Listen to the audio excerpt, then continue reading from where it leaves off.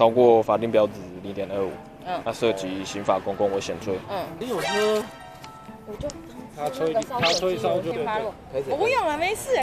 要哦，我们就知道不能，对对，不能酒驾了，不能酒驾，对啊，所以你才叫我来带。但是我去了吃了烧酒鸡，是我的问题。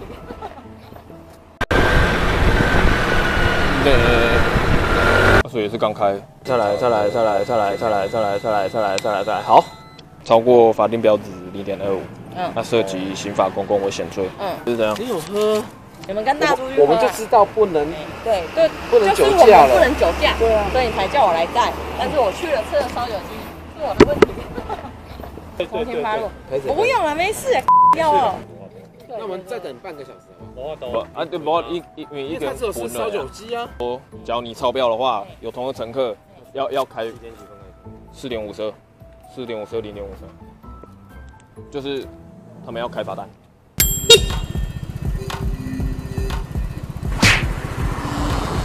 你很清醒，我清醒啊。对啊对啊，我知道我自己在说什么。所以你决定。运动。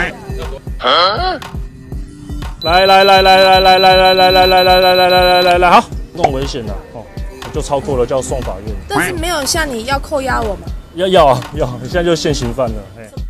二十二日四时十九分左右，远警巡经中华三路与七贤二路时，发现一台轿车未开大灯，所以将这台轿车拦了下来。窗户一打开，就闻到三十七岁的赵姓女驾驶浑身酒气，于是警方要求她要进行酒测。赵姓女驾驶下车之后，立刻就在路旁做起深蹲。她说这样可以加速排汗，也能让酒精加速挥发，当场让远警看傻眼。不过这招失灵因为酒测超标，被依照公共危险罪查办。据了解，赵。姓女子是在市区一间酒吧与友人喝酒，自觉只喝了两小杯上，认为精神上佳，侥幸驾车载友人返家，却因忘记打开大灯遭警方拦查。不过贪图侥幸，现在除了要面临相关罪责之外，还要参加道路安全讲习。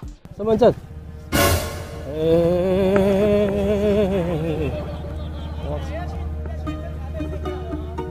过去的时候他就叠在路地上了，那我这走的，我第一次遇到啊。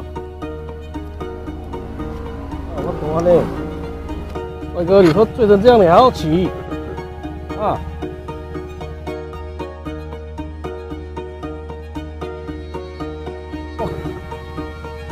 哦，呢？先下来，我帮你推去旁边了。喽，不要拉着车了，这样会倒了。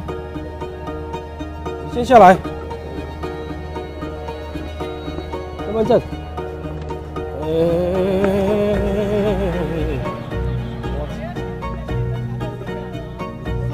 本会派出所了哦！啊，你你车子是我过去的时候，它就叠在路地上了。那我这种的，我第一次遇到啊。